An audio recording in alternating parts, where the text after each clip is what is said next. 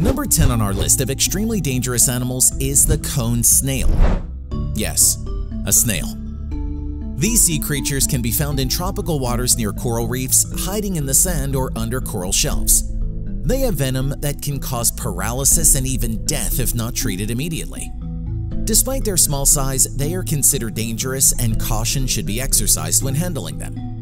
Found in tropical waters, be careful when exploring the ocean and avoid touching any strange-looking shells.